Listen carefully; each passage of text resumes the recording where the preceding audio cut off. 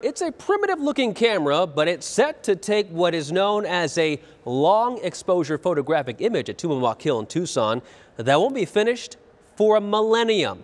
Jonathan Keats, a University of Arizona researcher, came up with the idea of the Millennium Camera, which will document all of the changes the desert will face for the next 1,000 years. Tucson's local mountains will likely look more sharp and crisp, while homes may look more ghostly or translucent since they may not exist by then.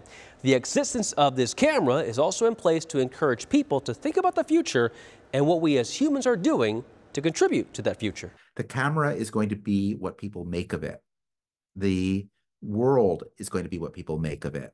And I think that only by taking that in hand and keeping that in mind do we have any chance of ending up in a place that we would want to be. The camera was installed last fall and uses a tiny pinhole that focuses light onto colored pigment so that the color fades most where light is brightest, slowly revealing an image which will be ready by the fall of 3023, so mark your calendars. There are a total of four Millennium cameras installed globally, including one at the ASU Art Museum in Tempe, with three others in the works.